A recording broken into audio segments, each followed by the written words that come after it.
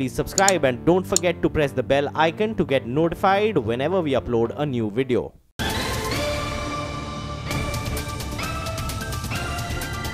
भैया जी में आपका एक बार फिर स्वागत है और मैं कनॉट प्लेस में मौजूद और आज का मुद्दा, आम आदमी पार्टी के 20 विधायकों का आयोग करार देने में क्या चुनाव आयोग ने जल्दबाजी दिखाई?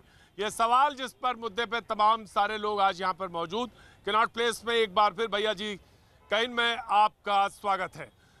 बातचीत के सिलसिले को आगे जोड़ेंगे, लेकिन मैं बता दूँ, एक सज्जन हमारे साथ जम्मू से मौजूद हैं, जो आए हुए हैं और वो उनको कुछ जो शेलिंग होती है, उसको उस बाबत एक बात कहनी है। लेकिन मैं इससे पहले जाऊँ मुद्दे पर मैं रहूँगा। और हमारे साथ प्रेरणा सिंह कांग्रेस से और अवधेश कुमार वरिष्ठ पत्रकार मौजूद है, जिन्होंने ब्रेक से पहले नहीं बोला था। अवधेश जी, मैं आपको खड़ा करना चाहूँगा। सवाल ये था कि उसके बाद डिबेट ओपन हो जाएगी। सवाल ये कि जिस तरह से डिस्कालिफिकेशन की बात कही, आज कोर्ट ने वापस भेजा, राहत की बात आई, यहाँ ये बात हो रही है। चुनाव नहीं हो रहे हैं, ऐसा लग रहा है कि चुनाव का माहौल बन जाएगा ऐसा हो रहा था। तो ये ये कहीं ना कहीं ये सारी चीज़ें, लेकिन जिस तरह से अन्ना का आंदोलन एक बार फिर शुरू हो रहा है और लोगों ने कहा कि एक और केजरीवाल की ज़रूरत अभी आपके पास आ रही थी तो क्या लोगों की जो आकांक्षाएँ थी, वो कहीं ना कहीं कुछ लगता है उसमें चोट या धारणा आई है? नहीं नहीं केज, अरविंद केजरीवाल ने देश में जो भी मतलब संघर्ष करने वाले लोग थे भारत का भला चाहने वाले लोग थे भ्रष्टाचार खत्म करना चाहते थे एक आदर्श राजनीति स्थापित करना चाहते थे उन सब का एक आकर्षण हुआ था। और स्वयं इस सरकार की और स्वयं अरविंद केजरीवाल के कर्तृत्व से उनके स्वयं के बयानों से उनके स्वयं के काम से उनके साथियों के काम से देश भर में लोगों को धक्का लगा है। इसलिए जिस भाई ने प्रश्न पूछा कि क्या दूसरा केजरीवाल पैदा हो जाएगा, ये भय होना स्वाभाविक है, क्योंकि अरविंद केजरीवाल का जो सबसे बड़ा योगदान इस देश में रहा कि लोगों का आंदोलनों से लगभग विश्वास उठ गया। सबसे बड़ा धक्का ये लगा है देश में कि आंदोलन के बाद फिर ऐसे लोग पैदा हो जाएँगे जो कहेंगे कि हमको सत्ता में नहीं आना है और फिर सत्ता में भी आएँगे तो कहेंगे कुछ और करेंगे कुछ। लेकिन इस पर लंबी बात हो जाएगी, जो मैं कहना चाह रहा हूँ, देखिए, आज के फैसले के बारे में कुछ बातें देश को समझनी चाहिए। इसी दिल्ली उच्च न्यायालय ने 8 सितंबर 2016 को कहा था कि 21 संसदीय सचिवों की नियुक्ति जो है ये असंवैधानिक है गलत तरीके से यह किया गया और उनकी नियुक्ति को रद्द कर दिया था। ये बात देश को नहीं भूलना चाहिए। और आज जो फैसला है वो इस पर नहीं है कि ये ये ये इनका ये अरविंद केजरीवाल की जो 21 लोगों की नियुक्ति का फैसला था ये सही था या गलत था। इस पर भी नहीं है कि ये लाभ का पद ले रहे हैं या नहीं ले रहे हैं। केवल इस पर था कि क्या चुनाव आयोग ने ठीक से सुन करके, सही सही तरीके से सुनवाई करके प्रॉपर वे में न्याय किया है या नहीं किया है? हमारे यहाँ न्यायपालिका का सिद्धांत है कि कोई एक दोषी बच जाए, ये तो ठीक है, लेकिन किसी निर्दोष को सजा नहीं मिलनी चाहिए। तो इस सिद्धांत पर आज का फैसला है। चुनाव आयोग को केवल दोबारा सुनवाई करने की है। मैं तीन बातें कहना चाह रहा हूँ। देखिए, तेरह मार्च 2015 को इन सबकी नियुक्ति हुई थी। उसके बाद प्रशांत जी ने एक याचिका डाली थी एक याचिका हाईकोर्ट में गई थी। उस याचिका पर सुनवाई शुरू हुई। उसके बाद 23 जून 2015 को बाजाबता दिल्ली विधानसभा में एक विधेयक लाया गया। उसको पारित करके राज्यसभा में भेज दिया गया, क्योंकि ये भय हो गया कि ये डिस्क्वालीफाई नहीं हो। क्योंकि उन्नीस में दिल्ली के कानून के अनुसार दो ही पद यहाँ लाभ के पद के बाहर थे, एक खादी ग्रामोद्योग के अध्यक्ष का, एक महिला आयोग के अध्यक्ष का। उसके बाद 2006 में शीला दीक्षित ने नौ पदों को उससे बाहर किया। इसके अलावा जो भी नियुक्ति होगी वो लाभ के पद के दायरे में आएगी। you're ये सर बोल रहे थे सितंबर में हाई कोर्ट ने कहा था कि सब ये पद जो हैं ये स्टैंड नहीं करते। ये बात तो हम ही बोल रहे हैं कि जो पद खत्म कर दिए हाई कोर्ट ने ये उसके जो थे आ, सचिव के जो पद ही नहीं बचे उन पे इलेक्शन कमीशन सुनवाई किस बात की कर रहा है? हाई कोर्ट ने वो पद ही खत्म कर दिए गए पद है ही नहीं है खत्म हो गए। उस पर आप सुनवाई कर रहे हैं ये बात हम रखते हैं वहाँ पे उसका मौका ही नहीं मिला हमें। नहीं नहीं उसमें नहीं देखिए उसमें उसमें यह है कि 13 13 मार्च दो 2015 से लेके और 8 सितंबर 2016 तक ये उस पद पर थे। इसलिए फैसला उस बीच का करना है। ये नहीं कि उसके बाद का करना जी है। जी। ये प्रशांत प्रशांत यहाँ पे मौजूद है इन्होंने ही ये सारा यज्ञ रचा था। जी। देखिए हाई कोर्ट ने एक लिमिटेड इशू इशू पे खाली आज का जजमेंट दिया है कि जो प्रॉपर सुनवाई नहीं दी गई, उनके विधायकों का तर्क था कि नेचुरल जस्टिस का पालन नहीं किया गया तो उनको सुनवाई का दोबारा मौका दिया जाना चाहिए, सिर्फ़ उस ग्राउंड पे वापस भेजा है। ऑफ़िस ऑफ़ प्रॉफिट का क्वेश्चन अभी भी है। ऑफ़िस ऑफ़ प्रॉफिट का क्वेश्चन का जुडिक्शन हाई कोर्ट के पास नहीं है। वो सिर्फ़ चुनाव आयोग और राष्ट्रपति जी को देखना है। वो वो मामला अभी चलेगा। तो इसमें कोई बहुत ज़्यादा खुश होने की बात नहीं है। ये सिर्फ़ टेम्प्रेरी रिलीफ है। चुनाव आयोग चाहेगा तो दो दिन तीन दिन या कोई भी कंटिन्यूस हियरिंग करके एक हफ़्ते में भी दोबारा हियरिंग के बुलाएगा दोबारा ओपिनियन प्रेरणा प्रेरणा आप आपका। देखिए आम आदमी पार्टी पूरी तरीके से जनता को भ्रमित करने का काम कर रही है। कोर्ट ने कोई इनको बरी नहीं कर दिया है इस इल्ज़ाम से। कोर्ट ने इनको एक टेम्प्रेरी रिलीफ दिया है कि ये वापस इलेक्शन कमीशन में जाएँ अपना पक्ष रखें। कोर्ट ने कहीं भी ऑफ़िस ऑफ़ प्रॉफिट के बारे में या इस बारे में कोई ज़िक्र नहीं करा है। इन्होंने लाभ के पद पर ये थे और लाभ का पद का इन्होंने फ़ायदा उठाया है, जिसकी जो भी संविधान के हिसाब से सज़ा इनको मिलनी होगी, वो ज़रूर मिलेगी। ये सिर्फ़ टेम्प्रेरी रिलीफ है। और अभी किसी भाई ने कहा कि इस आंदोलन से जो अन्ना आंदोलन है, उससे एक और केजरीवाल तो पैदा नहीं होने हो जाएँगे तो ये डर बिल्कुल लाजमी है, क्योंकि अगर चुनाव से पहले आंदोलन आंदोलन वाले केजरीवाल जी आज होते तो इन 20 पदों पे रिजाइन करके दोबारा चुनाव में चले जाने की तो बात आपका तो नैतिक नैतिक आप तो नैतिक हमारी सोनिया गांधी जी पर जब सिमिलर इल्ज़ाम लगे तो सोनिया जी ने रिजाइन करके दोबारा इलेक्शन में गई थी। ये नैतिकता होती है। जो केजरीवाल जी सत्ता का लोभ करके और जो इनके विधायक सत्ता का लोभ कर पे करके ज़बरदस्ती पद पर बनने की जिद कर रहे हैं ये ये नैतिकता नहीं है। जी जी। इनका इनका डर एकदम लाजमी है दूसरा केजरीवाल ना हो क्योंकि एक ने ज़ीरो पे कर दिया उससे कम कोई कर नहीं सकता। ठीक है? और एक एक अट्ठाईस से एक केजरीवाल दिल्ली को ज़ीरो पे ले आया और दूसरा केजरीवाल तो शायद माइनस में ले जाएगा। अट्ठाईस दिया दूसरी बार में सड़सठ दिया। ये दिल्ली का प्यार है।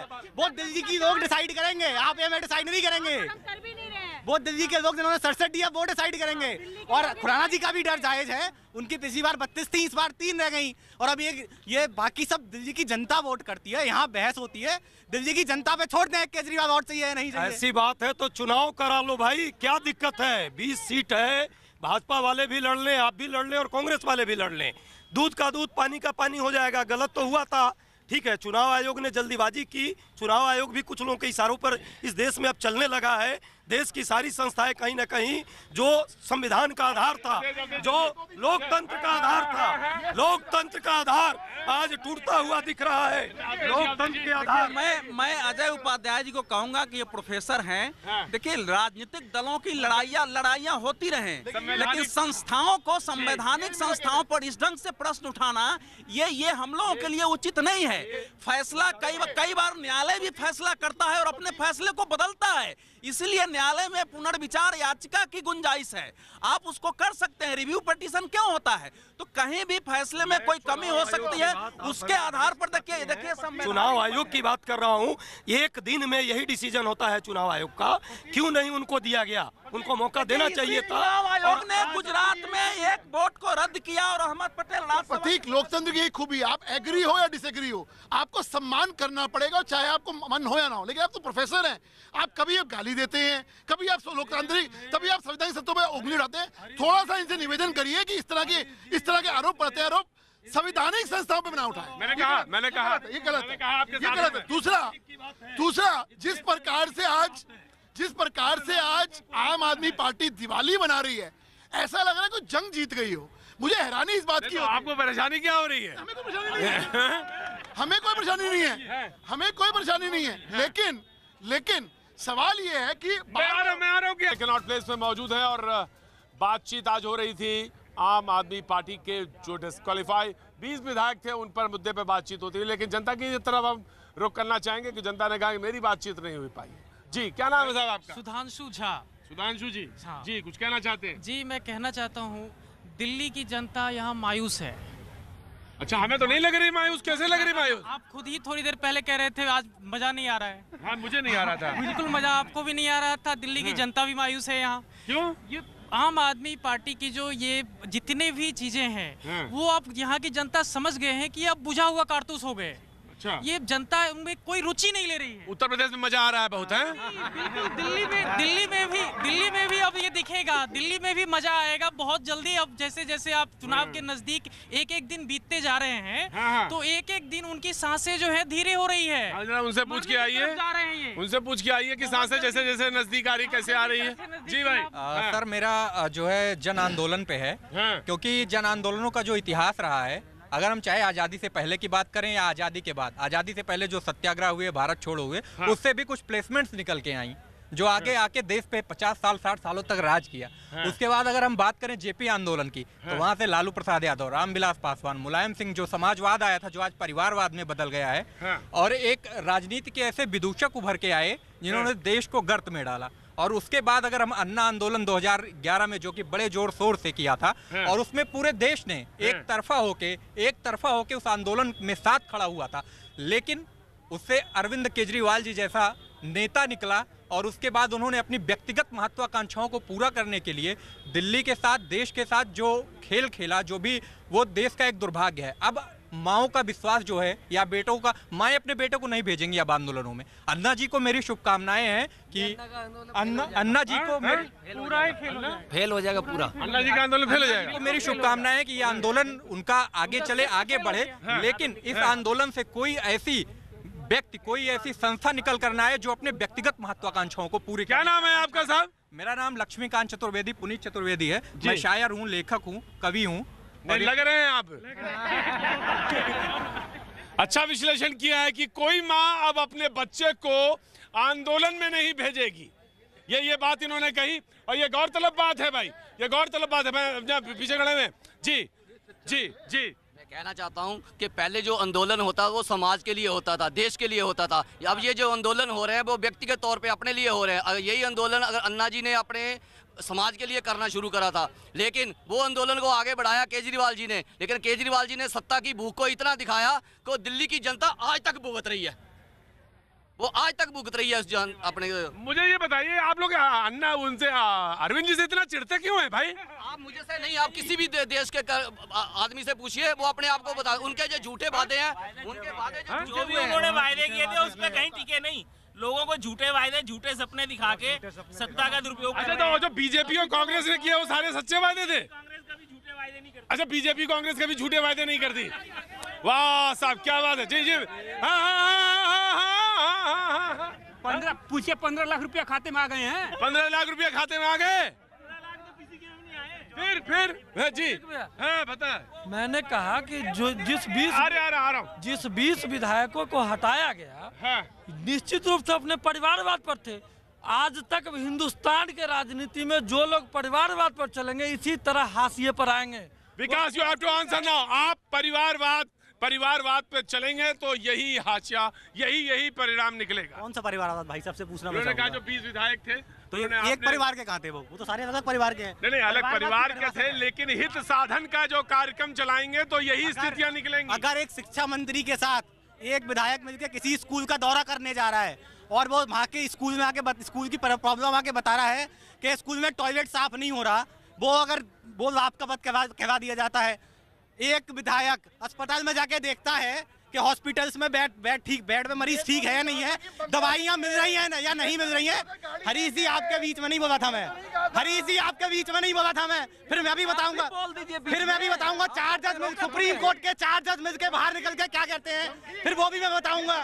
तो आप मुद्दों की बात कर दीजिए।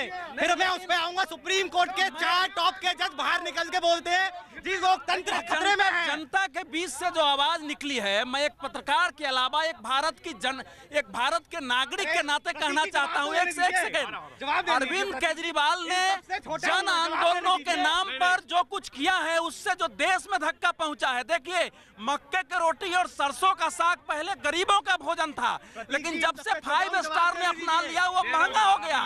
अरविंद केजरीवाल ने वही आंदोलनों का रूप देकर के एक आडम्बर जो खड़ा किया उससे आंदोलनों को धक्का पहुँचा इसलिए उस भाई की बात से मैं सहमत हूँ। और साथ ही साथ ये भी देखने की बात है कि जो लोग अरविंद केजरीवाल के साथ आंदोलन में थे उसमें से कितने लोग आज साथ हैं और हैं नहीं तो क्यों नहीं है? ये सवाल आज पूछा मैं जाएगा। बताता हूँ ठीक है? दिल्ली में सड़सठ सीट आई 2015 में। ठीक है? 2015 में दिल्ली की जनता ने जिता के भेजा है। तो दिल्ली की जनता की बेइज्जती न की जाए। अन्ना आंदोलन और केजरीवाल का उदय दिल्ली चुनाव के लिए नहीं हुआ जो जिस दिल्ली की जनता ने इन पे विश्वास दिखा के दिखा के सड़सठ सीटें दी थी उसके बाद जितने भी चुनाव हुए हैं इनका वोट प्रतिशत लगातार गिरा गिरा है और दिल्ली की जनता का विश्वास दिल्ली की जनता का जो विश्वास है वो इनसे टूटा है। और अगर ये इसी तरीके के इसी चक्रों में लगे रहे तो आने वाले चुनाव में एक भी सीट इनकी नहीं आने वाली। एक बात और। अभी बड़े बड़े दावे कर रहे हैं। इन्होंने तो कहा था कि हम बंगला नहीं लेंगे गाड़ी नहीं लेंगे। याद करिए पहला दिन मेट्रो पे सफ़र किया था। आज बड़ी बड़ी गाड़ियों से करेंगे। फिर दिल्ली की जनता से माफ़ी कब मांगेंगे? ये भी तो पूछिए इनसे। जब नेताओं से माफ़ी मांग तक सकते हो और नेताओं के कह, आपके कहने पे लोगों ने वोट दिए आज आप उनसे माफ़ी तो मांग रहे हो लेकिन दिल्ली की जनता से आपने जो झूठे वादे किए उससे माफ़ी कब मांगोगे? अकड़ू लोग अकड़ू लोग माफ़ी भी नहीं मांगते घमंडी लोग नहीं मांगते। जिसका दिल बड़ा होता है वो माफ़ी माँगता है। हर किसी के बस की बात नहीं है माफ़ी मांगना। केजरीवाल हर किसी के बस की बात नहीं है माफ़ी मांगना। लोगों ने इसके आधार पर वोट दिए बात नहीं लोगों ने ये माना कि बाकी पार्टियों में सब भ्रष्टाचार है जिस ढंग से वो पेपर प्रस्तुत करते थे। और आज जब उन लोगों से माफ़ी मांग रहे हैं तो उनको देश को बताना चाहिए कि हमने अरे बताएँगे सर।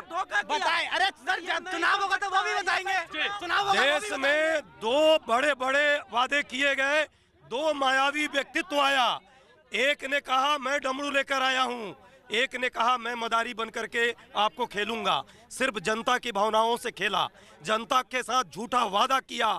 इन लोगों ने तो अन्ना को नहीं छोड़ा और एक ने राम, भगवान राम पुरुषोत्तम को नहीं छोड़ा। इस देश में सिर्फ़ लोगों के भावनाओं का शोषण करके राजनीति हुई है, सियासत हुई है। गरीबों के गरीबों पर, रोज़गार पर, युवाओं पर, मजदूरों पर और किसानों पर।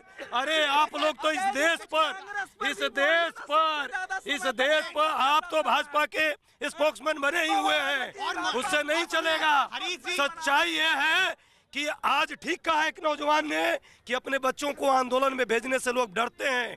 आंदोलन के नाम पर झूठा 67 सीट का रहे नहीं लोकायुक्त इस देश में कम से कम दिल्ली में लाते। लोकपाल की तो ये लोग भूल ही गए। लोकपाल की तो बात ही भूल गए। आज भी आ जाते। पहली विधानसभा सेशन में पहली विधानसभा सेशन में क्यों दिल्ली नहीं लाए? पास हुआ था। लोकायुक्त आज आज इनकी आज इनकी मोदी गवर्नमेंट के पास खड़ा हुआ क्यों ना पास कर रहे हैं जनता जनता कह रही है तमाशा अच्छा है। तमाशा अच्छा है। तमाशा बहुत अच्छा है। लोग जुटे हुए हैं देख रहे हैं कि क्या हो रहा है। उंगलियाँ हाथ हवा में है कि भाई मेरा नंबर कब आएगा? बहस को एक बार फिर से आगे बढ़ाते हुए लेकिन जो सवाल आज हमने पूछा था वो ये कि आम आदमी पार्टी के 20 विधायकों को अयोग्य करार देने में क्या चुनाव आयोग ने जल्दबाजी दिखाई? ये सवाल मैंने प्रोग्राम से पहले पूछा था जिसका जवाब के लिए लोगों ने अपना कोर्ट कास्ट किया है। लेकिन हाँ मैं आपसे पूछूँगा सवाल पूछूँगा। जरी जी। जी मैं विकास के मुद्दे पर आम आदमी पार्टी से नहीं कुछ कहना चाहता। एक बात कहना चाहता हूँ हाँ। कि इनका सबसे प्राथमिकता ये रहा है कि ये लोग जनमत में बहुत ज़्यादा भरोसा करते हैं।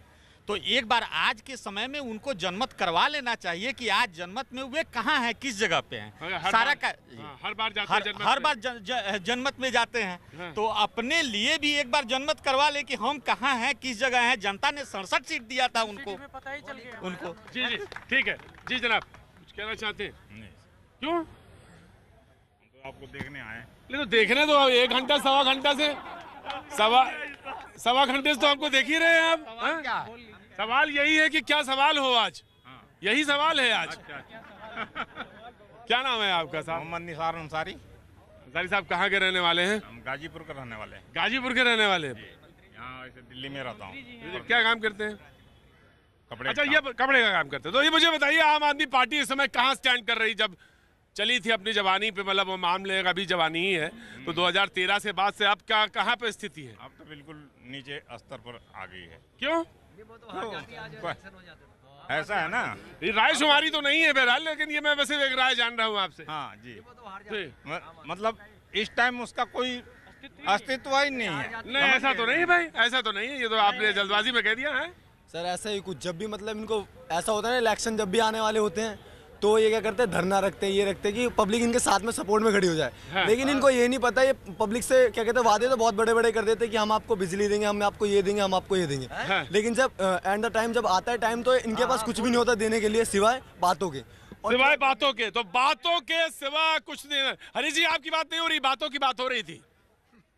जी सवाल। देखिए हाँ। आप जो कह रहे हैं अभी आपने एक सवाल पूछा कि आम आदमी स्टैंड कहाँ करती है। हाँ। 2013 के चुनावों के बाद वो जो बुलबुला उठा था लोगों ने विश्वास किया था उसके बाद कोई भी चुनाव उठाइए आप। पंजाब में इन्होंने सत्ता बनाएँगे कितनी सीटें आई सबको पता है। जी जी सच ये सच हाँ, ये है कि अगर। आप सुनने नहीं पहले सुनिए आप। उसके बाद कितने चुनाव हुए? सब में जमानते जब्त हुई हैं इंक्लूडिंग दिल्ली की एमसीडी के अंदर भी नंबर तीन पे आए हैं। इसलिए आम आदमी पार्टी का जो एक बुलबुला था जो एक बहुत शख्स ने कहा था कि हम विश्वास करना हम हम भूल रहे हैं कि आम अरविंद केजरीवाल के कैसे निकलेगा तो नहीं ये डर वाकई है कि लोगों के साथ धोखा किया उसने और तभी वो माफ़ी मांग रहे हैं। हरीश जी लोग कह रहे हैं इस बात पे भी खुश है बीजेपी की चलो चुनाव नहीं हुए लेकिन चुनाव हो जाते तो मुश्किल आप फिर फिर फंस जाते हैं। आपको मालूम है भारतीय जनता पार्टी आपको भी मालूम है की हम हर चीज़ के लिए तैयार है। हम तो चुनावों की तैयारी कर चुके थे। बहुत अच्छी बात है जी जी जी। ये जो आपने प्रश्न पूछा है सिर्फ़ आम आदमी पार्टी के लिए औरों के लिए भी पूछ लीजिए। 2014 में भी इस देश के लोगों ने प्रचंड बहुमत दिया था। और बड़े बड़े वादे पंद्रह लाख देंगे। राम मंदिर बनाएँगे 370 धारा को खत्म करेंगे। वहाँ टीडीपी से यहाँ पे वहाँ आतंकवादी संगठनों को समर्थक देने वालों से कश्मीर में समझौता। राम मंदिर का कोई अब नाता नहीं। पंद्रह लाख कहाँ चला गया? और दो लाख दो लाख दो लाख रोज़गार। दो लाख के बाद 21 सरकारें हमने बना दी। उसके बाद कह रहे हैं कि लोगों का समर्थन नहीं है। ये लोगों का समर्थन और कैसे होता है? हम दो दो तिहाई बहुमत से हम सरकारें बना रहे हैं तो ये लोगों का प्यार ही तो है और क्या? देखिए देखिए आम आदमी पार्टी और भाजपा दोनों ही ए, ए, अपना आधार खो चुके हैं और दोनों ही एक ही सिक्के के दो पहलू हैं। 2013 में समर्थन किसने दिया था? जो 2000 2013 में 2013 में समर्थन हमने समर्थन इसलिए दिया था क्योंकि दिल्ली में ने क्योंकि दिल्ली की जनता ने उन्हें बहुमत दिया। केजरीवाल जी बहुत बड़े बड़े वादे लेकर आए थे दिल्ली की जनता ने उस पर विश्वास दिखाया तो हमारे आपका समर्थन हमारे दिया, हमने समर्थन हमने जनता के जनता की भावनाओं को ध्यान में रखते हुए उन्हें समर्थन दिया कि शायद जिन वादों को लेकर आए शायद उन्हें पूरा कर दे मगर मगर अब तो केजरीवाल जी और भाजपा दोनों एक ही सिक्के के दो पहलू नज़र आते हैं ही देखिए देखिए प्रतीक जी देखिए, केजरीवाल को भाजपा और कांग्रेस की विफलता में समर्थन मिला था, इसको ध्यान रखना चाहिए। भाजपा और कांग्रेस ने उसके बाद अभी तक दिल्ली में केजरीवाल को, जो केजरीवाल है, उनकी भाषा में मुकाबला करने का मादा नहीं दिखाया है। ये भी सच है, भले एमसीडी में बहुमत मिल जाए। लेकिन मैं जो कहना चाह रहा हूँ, एक दूसरी बात, कि केजरीवाल को अगले चुनाव में जीत मिलती है, नहीं मिलती है, या उनको बहुमत भी मिल जाए उससे जो देश को धक्का पहुँचा है केजरीवाल को के चेहरे से। केजरीवाल की जो आवाज़ थी, केजरीवाल ने जो विश्वास पैदा किया था और देश में एक माहौल पैदा किया था, उससे जो धक्का पहुँचा है, जो विश्वास को धक्का पहुँचा है, जन आंदोलनों के प्रति, उसकी भरपाई नहीं हो सकती है। और यह सवाल बना रहेगा हमेशा। और ये बात ये आप समझिए कि एक व्यक्ति जो सड़सठ सीटों को लेकर के आया है उसको इक्कीस संसदीय सचिव क्यों बनाने पड़ते हैं? इसलिए बनाने पड़ते हैं कि कहीं हमारे विधायकों में ही हमारे खिलाफ लोग खड़े ना हो जाए। अगर इतना भी विश्वास नहीं है तो फिर ऐसे व्यक्ति को या इस प्रकार को हमारे आपके जैसे लोग अवधेश जी ने अवधेश जी ने बहुत अच्छी बात कही है कि जिस विश्वास के साथ इस राज्य की जनता ने 67 सीट दिया था, आज उस विश्वास पर अरविंद केजरीवाल नहीं खड़ा हुए हैं, उतरे हैं। और यही विश्वास इस देश की जनता ने एक प्रधानमंत्री से भी किया था। गरीबों की आवाज़, असंगठित मजदूरों की आवाज़, महिलाओं की आवाज़, युवाओं की आवाज़, रोज़गार की बात, बेरोजगारी, आप शिक्षा और स्वास्थ्य की बात, उसको पूरा कीजिए, देश में ज़रूरी है। नौजवान आपके साथ होगा, लेकिन करना पड़ेगा। बिना विकास के। भैया पूछते हैं जो मोदी का विकल्प कौन है? बताइए विकल्प कौन है? है हिम्मत बताइए विकल्प कौन है।